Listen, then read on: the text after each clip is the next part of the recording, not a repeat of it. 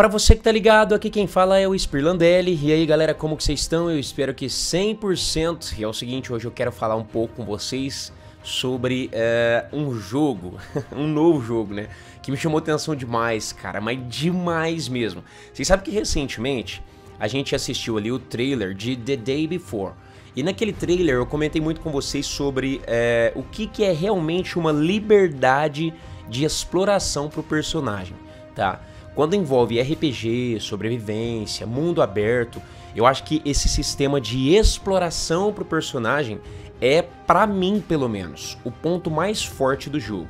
Mas eu quero, assim, eu quero que vocês entendam primeiro o que, que é exploração, tá, galera? Exploração não é só você sair correndo no mapa e explorar o mapa. Não, é explorar o jogo por completo, tá? E a gente vai falar hoje sobre Myth of Empires, um jogo que vai sair somente para PC, pelo menos por enquanto, provavelmente pode sim sair para o Series X e para o PlayStation 5, para o Series S também, né? A desenvolvedora está trabalhando nisso. Ela disse que vai esperar ver como que vai ser o desempenho, né, de movimentação financeira do jogo, como que vai ser a questão de vendas e o alcance desse projeto. Vamos ver como é que vai ser, certo? Ele está prometido para chegar no final de 2021.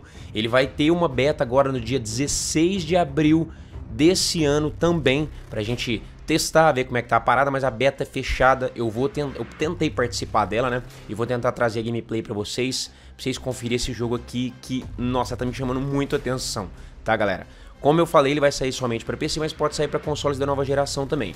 Só que é jogado em terceira pessoa, é, pelo que eu andei vendo, pode acontecer da gente também poder escolher entre jogar em primeira ou terceira pessoa, é você que escolhe. Mas até o momento eu tô sabendo aqui que ele pode ser jogado em terceira pessoa, tá? E quando eu falo essa parada, principalmente esse negócio, né, de sistema de exploração, de liberdade de exploração pro personagem. O que, que é liberdade de exploração, SPL? Na minha opinião, liberdade de exploração, além de você ter um mapa gigantesco para você poder explorar, né? Mapas ali com biomas diferentes, né? Desértico, é, aquela parada florestal, é, aquela parada mais rochosa, enfim, uma série de fatores que podem complementar a questão de é, é, diversidade de mapas, né, de ambientações, de climas. Eu acho que além disso tudo, a gente tem que ter uma liberdade de exploração ali na hora de entrar dentro de um vilarejo, de poder pegar uma espada no chão que você vê, né? De você poder ver um cavalo ali e poder pegar, de você entrar dentro de uma, de uma casa, abrir as gavetas da casa, fuçar na casa, abrir armário, ver se tem item, tá? Esse sistema de exploração do jogo que para mim é um sistema realmente bem feito, uma parada muito bem aplicada, tá? Isso é um sistema de exploração legal. E o Myth of Empires, ele entrega um sistema de exploração que eu vou te falar uma verdade, velho. É muito, muito complexo, muito, muito profundo tá? Por isso que eu quis compartilhar isso com vocês, além dele ser um jogo que vai ter gráficos muito bonitos, né? A gente vai ter ali detalhes bem legais, vai ter um sistema de, assim, um mapa muito, é, como eu falei, dinâmico, né? Com climas dinâmicos, que eu vou falar um pouco mais aqui no vídeo para vocês. Mas primeiro eu quero falar do sistema complexo do cavalo, que foi uma coisa que me chamou muito a atenção em uma pequena prévia que eu vi é, sobre um relatório do jogo. O sistema de cavalo aqui é bem semelhante ao do Red Dead Redemption, mas pode ser até mais profundo do que o do próprio Red Dead Redemption. A gente encontra um cavalo, a gente pode domar esse cavalo, a gente pode ter ele ali como o nosso cavalo, tá ligado? A gente pode cuidar do cavalo, a gente pode criar estábulos para ter mais cavalos, né? Que a gente vai domando, a gente vai ali é, customizando o cavalo, vai educando o cavalo, vai ficando muito da hora e a gente pode colocar armadura no cavalo. Enfim, é uma, é uma personalização complexa, tá? É uma parada muito, muito bem feita, tá? O sistema de construção do jogo é um absurdo, é um absurdo mesmo. Inclusive, a desenvolvedora, galera, ela disse que o foco, o foco do desenvolvimento do jogo é o sistema de construção de base do jogo. Tá? A gente pode ter ali desde casa pequenininha, tá ligado? Até fortaleza enorme, até umas coisas insanas mesmo, gigantesca, tá? Ou quem sabe até o nosso próprio vilarejo ali, que a gente constrói a nossa cidade, eh, a nossa área ali. Você pode fazer do jeito que você quiser. É, é incrível, é, a ideia é muito boa, tá? Eu tô realmente impressionado com o que esse jogo quer trazer pra gente, tá? Uma coisa que eu tinha falado para vocês logo, logo eh, agora há pouco é o clima dinâmico do jogo que vai afetar plantações, vai afetar animais, vai afetar o seu personagem, vai afetar a sua estamina, vai afetar diversos fatores dentro do jogo. Tá? A desenvolvedora disse que é, o seu plantio, a sua agronomia pode ser afetada drasticamente se demorar demais para chover, é, tem que tomar bastante cuidado, você tem que administrar o seu plantio de forma adequada, né? Ver certinho ali, é, tempos de chuva, é uma coisa impressionante, tá? Uma coisa impressionante que eu, assim, acho que eu nunca vi isso num jogo, para te falar uma verdade. O sistema de colheita é imersivo também, é, a gente vai ter um combate em larga escala, que a gente vai ter uma insana quantidade de soldados no campo de batalha, tá? Trocando umas espadadas muito loucas, vai ter catapulta, enfim, vai ser uma coisa frenética. A, tecnologia, né, da sua base, é, notificação do meu celular aqui. A tecnologia da sua base, né, a, a, o sistema evolutivo da base é, é, é absurdo. É fantástico, mano. E tudo depende do que, que você consegue em matéria-prima. Até porque você vai ter que minerar, você vai ter que ir atrás de madeira, você vai ter que ir atrás de recursos, às vezes até recursos tipo ouro, prata, tá ligado? Você vai ter que ir atrás disso, mano. Não vai ser tão simples assim. Você pode ele customizar a sua espada, deixar ela mais forte, é, deixar ela mais bonita, deixar a sua armadura mais bonita, mais resistente. Mas tudo isso depende dos recursos que você tiver. Depende da matéria-prima que você tiver no seu depósito, como que vai estar. Tá. Tem que administrar tudo isso muito bem, certo? Um outro detalhe que me chamou muito a atenção também é a questão de caçar animais. A gente vai poder caçá-los, esfolar esses animais, pegar alimentos, pegar recursos através dessa, é, dessas esfolações que a gente fizer.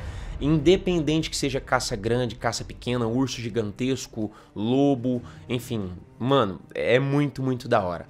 Tá? A, a, a, é isso que eu tô querendo dizer para vocês que o sistema de exploração do jogo é incrível. A gente pode explorar o jogo como um todo, tanto em questão de armadura, de, tanto em questão de armas, tanto em questão de exploração, tanto em questão de transporte, que é o, é o caso do sistema aqui do, do cavalo, né?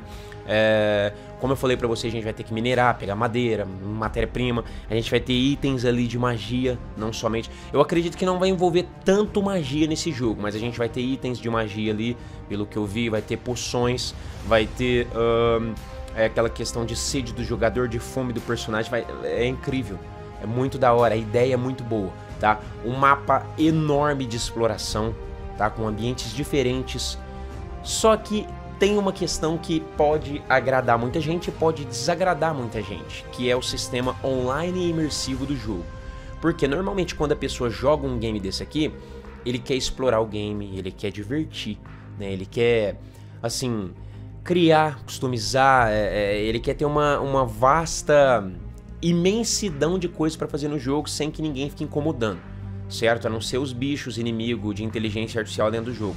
Aqui vai ser complicado, porque assim, ó, Dependendo, vai ter lugares que a gente vai explorar o mapa, a gente vai encontrar, vamos supor, uma casa abandonada. A gente pode entrar naquela casa e pode até morar naquela casa. Se a gente, vamos supor assim, ó, quiser é, é, construir coisas dentro daquela casa, colocar madeira nas janelas pra gente não ser visto, para ver se não tem gente lá dentro ou não, fazer alguma, alguma, algum forte ali perto para não ninguém invadir. Mas pode acontecer de algum jogador chegar lá e começar a te dar aquela dor de cabeça, entendeu? Igual a gente tem em Valheim, tá? É uma parte boa, é uma parte ruim, mas eu acho que é mais boa do que ruim, porque eu acredito que por se tratar de um jogo online, eu, é, assim, tomara que eles façam igual em Valheim, a gente cria lá o nosso próprio servidor e quem quiser jogar online entra no nosso servidor. Quem não quiser pode jogar o game, explorar o game, aproveitar de forma online, mas assim, no servidor do game, né? Você cria um servidor para você e joga lá você. Eu acho que isso é legal, tá? Mas a ideia do jogo é sensacional, galera. É sensacional. Esse aqui é Myth of Empires, tá? Um jogo medieval, um RPG de mundo aberto, que dá para fazer muita, muita coisa. Muita coisa mesmo, certo? Você vai ter que forjar a sua espada, você vai ter que fazer o seu arco, é tudo muito complexo. Então é isso, ó. É, qualquer informação que surgir, qualquer atualização que surgir, eu vou compartilhar com vocês. Uma coisa que eu tinha lembrado para vocês, né, que eu tô vendo aqui, que é o beta fechado no dia 16, vai sair agora dia 16 de abril, dia 15 ou 16 de abril sai o beta fechado do jogo. Vou tentar participar, vou tentar trazer a beta para vocês, tá? Mas é A ideia do jogo, tipo assim, ó, eu não tô falando que esse jogo vai ganhar o, o, GOAT do ano, não tô falando isso. Eu tô falando que baseado nisso aqui que a gente tá vendo, a ideia do jogo é fenomenal, é fenomenal, é, é interessantíssimo e a gente tem que ficar de olho nisso aqui, tá? Então qualquer atualização de informação compartilho com vocês. Beleza? Se gostou do vídeo, likezão que ajuda muito o crescimento do canal, que vocês estão ligados, ajuda demais o canal a ser mais reconhecido, o YouTube é, recomendar mais o canal pra galera, tá? Se você ainda não é inscrito e quer ficar por dentro né, dos melhores jogos, das melhores listas de jogos, é só se inscrever e ativar o sininho principalmente pro YouTube sempre te avisar quando eu trouxer um vídeo novo, tá bom? Um grande abraço, tudo de bom sempre, até o próximo vídeo, falou, falou, falou!